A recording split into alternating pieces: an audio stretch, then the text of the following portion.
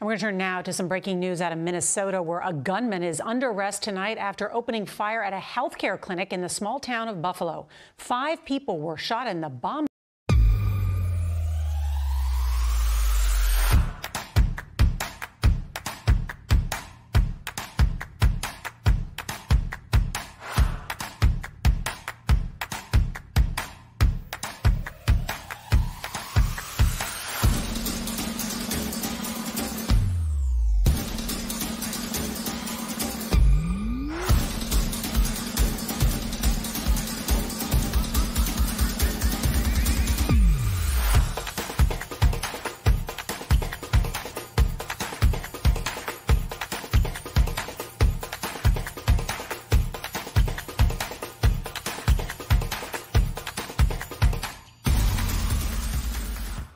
Squad was called in during a tense standoff. Here's CBS's Jeff Pegues.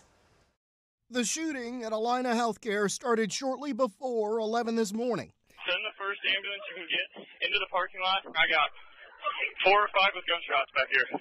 Inside the sprawling healthcare center where the windows were blown out, five people were wounded, one fatally. Two of the nurses came running out to my vehicle and got in. Um, they said they heard about 11 shots within a minute. It's a horrible looking scene. At the clinic, police arrested 67 year old Gregory Ulrich, a local man who police say they are familiar with. Authorities say he had been unhappy with his health care and they believe that he acted alone. The history that we have as a department with this individual uh, makes it most likely uh, that this incident was targeted at that facility or at someone within that facility.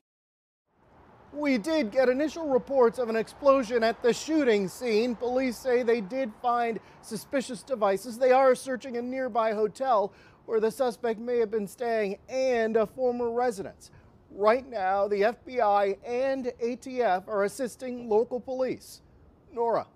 Jeff Pegues, thank you.